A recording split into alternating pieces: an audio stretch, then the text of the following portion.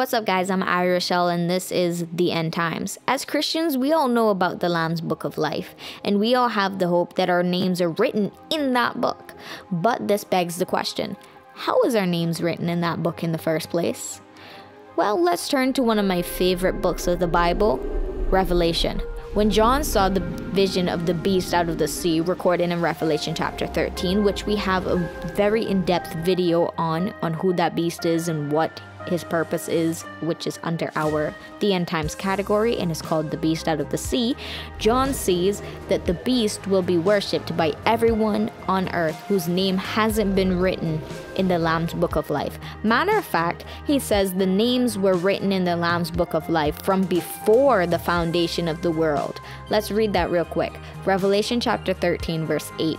And all who dwell on the earth will worship it, everyone whose names has not been written before the foundation of the world in the book of life of the Lamb who was slain. If our names have to be written in the Lamb's book of life before the foundation of the world, does that mean that we're all set on a path that we don't really have a choice in? Are each of us predestined to a specific path that we have no choice but to follow the path written for us? That would mean all those who die in their sin were chosen by God to die in their sin. But is that the heart of God? Let's see what Peter says God's overall will is for humanity. 2 Peter chapter 3 verse 9. The Lord is not slow to fulfill his promises, some count slowness, but is patient towards you, not wishing that any should perish, but that all should reach repentance. This is Peter explaining that the day of the Lord isn't slow or taking too long, but instead the day of the Lord will come at the perfect time because God doesn't desire that any perish, but all repent and be saved. This isn't the only time we see this either. God says this from the days of the law and the prophets. Ezekiel chapter 33, verse 11 says, Say to them, As I live, declares the Lord God, I have no pleasure in the death of the wicked, but that the wicked turn from his way and live. Turn back, turn back from your evil ways. For why will you die, O house of Israel? According to God Himself, He says He has no pleasure in the death of the wicked. Now, some will say that this is about the wicked in the house of Israel. Sure, but keep in mind, from the days of the law, God showed no partiality between Israel and the rest of the world. Here's what I'm saying. Exodus chapter 12, verses 48 through 49 says, If a stranger shall sojourn with you and would keep the Passover to the Lord, let all his males be circumcised. Then he may come near and keep it. He shall be as a native of the land, but no uncircumcised person shall eat of it. There shall be one law for the native and for the stranger who sojourns among you. The Passover was the foreshadowing of salvation through Jesus' sacrifice. This is probably the most important feast because without it, there would be no salvation. This isn't the only time God says this either. Numbers chapter 15, verses 15 through 17 says, For the assembly there shall be one statute for you, and for the stranger who sojourns with you, a statute forever throughout your generations. You and the sojourner shall be alike before the Lord. One law and one rule shall be for you, and for the stranger who sojourns with you. Peter even understands and explains the same sentiment after he goes to see Cornelius, the Roman centurion, who God sent him to teach. Acts chapter 10, verses 34 through 35.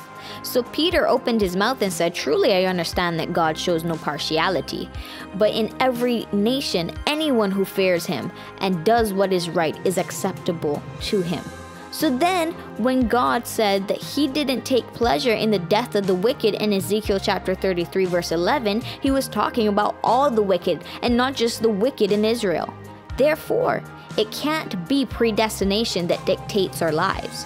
So, how do we get our names written in the Lamb's Book of Life? Well, according to the verse we read earlier, Revelation chapter 13, verse 8, your name has to be written in the Lamb's Book of Life from before the foundation of the world.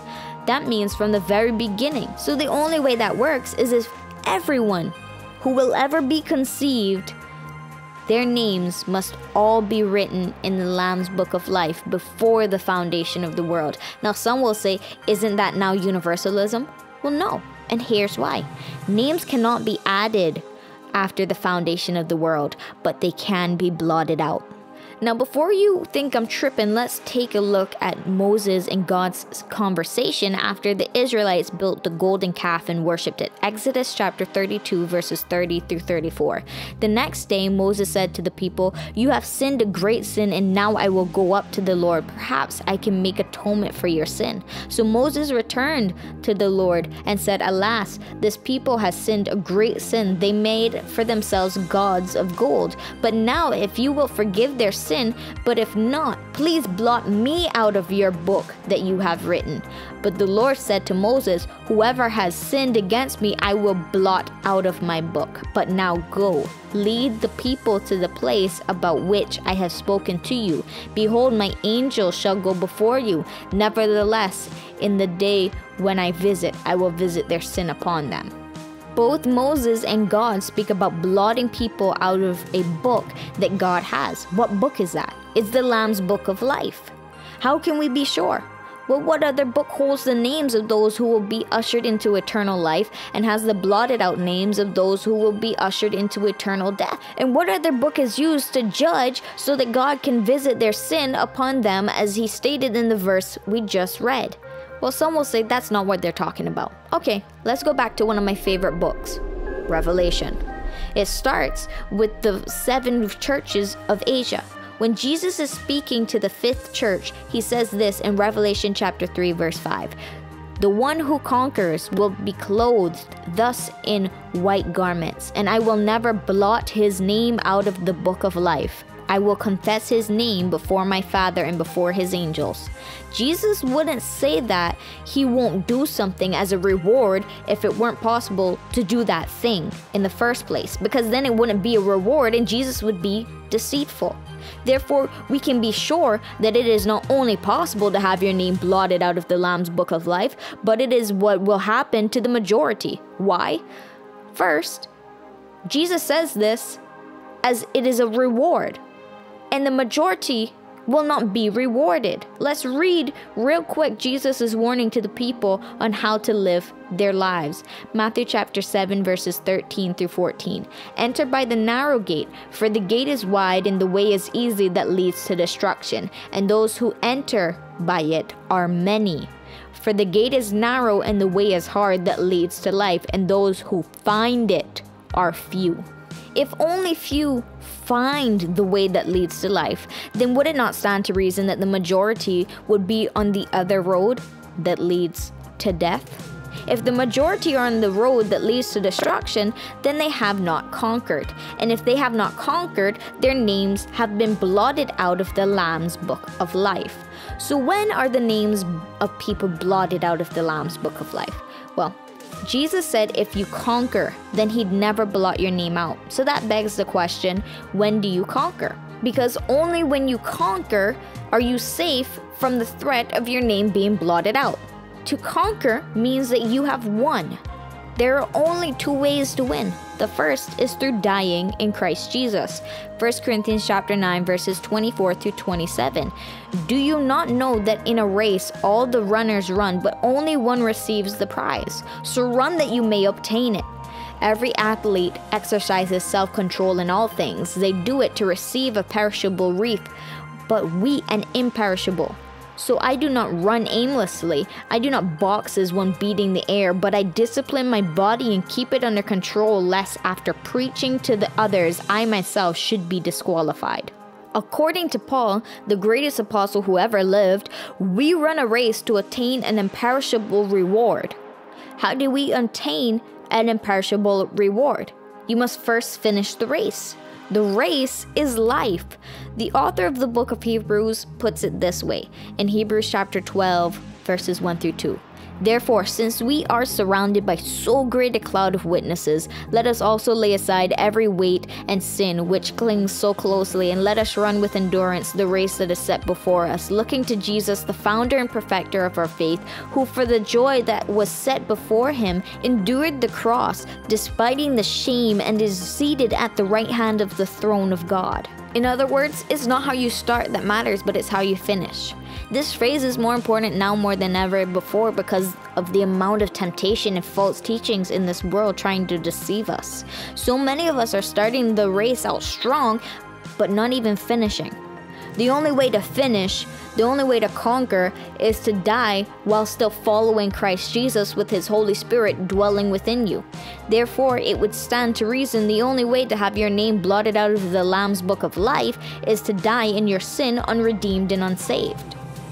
Of course, there are exceptions to this rule, but I don't want to get too, too deep.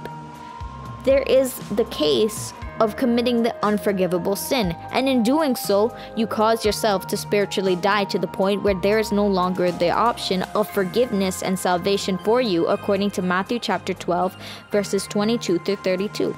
But since I believe this is a rare sin to commit in this life, because it didn't seem like the Pharisees even committed it, since Jesus bled for their forgiveness from the cross, according to Luke chapter 23, verse 34.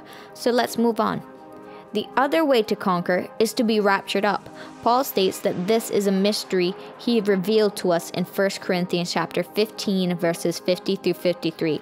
I tell you this, brothers flesh and blood cannot inherit the kingdom of God, nor does the perishable inherit the imperishable. Behold, I tell you a mystery. We shall not all sleep, but we shall all be changed.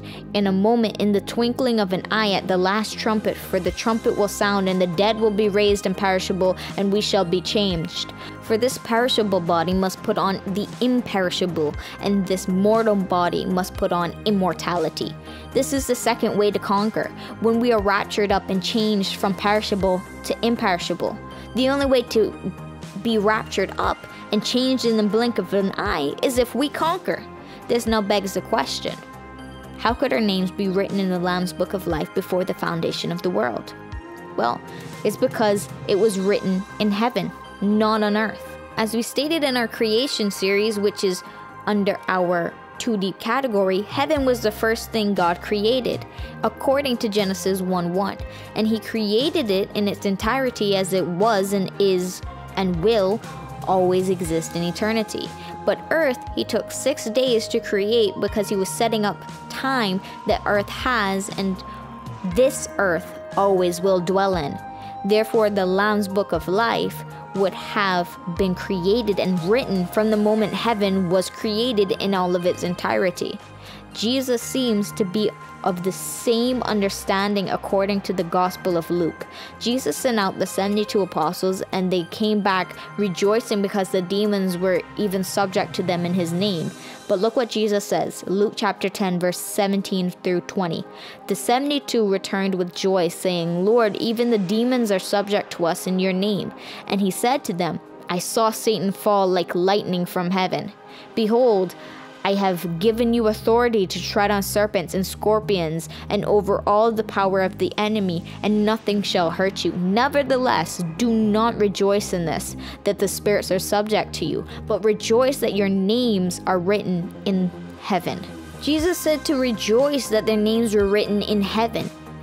This is where the Lamb's Book of Life was and is. It's in eternity with God. So let's sum everything up for you guys all the names of everyone who will ever be conceived were written in the Lamb's Book of Life from before the foundation of the world, which would be from the foundation of heaven. When we die or are raptured up, we conquer. And if we conquer, Jesus will never blot our names out of the Lamb's Book of Life. But if we die in our sin, then Jesus will blot our name out of the Lamb's book of life, and we will spend eternity in hell away from him, according to Revelation chapter 20, verse 15.